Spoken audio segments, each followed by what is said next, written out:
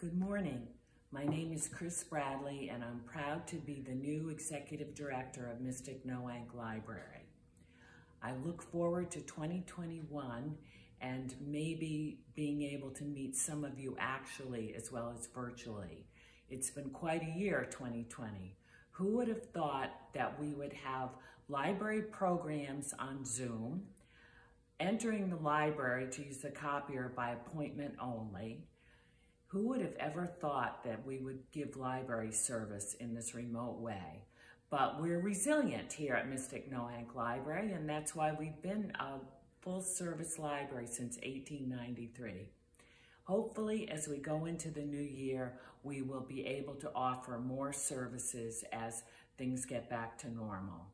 Again, I look forward to the new year and to meeting so many of you in this wonderful community. Thank you.